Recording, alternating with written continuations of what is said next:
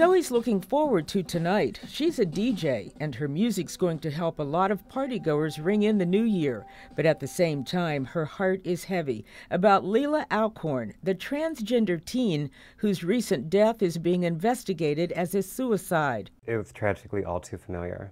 Zoe's a 30 year old transgender woman. She's always had the support of her family, but she knows the pressure Leila was feeling. I've been in that dark space, and it's not easy when people in your own community, people you expect support from, um, you know, they invalidate your identity. They um, devalue your existence. As a person who has gone through it and a person who has been in that dark space, um, you know, I put, um, it's a war, it, for my case, it was a war against myself. Have you attempted suicide?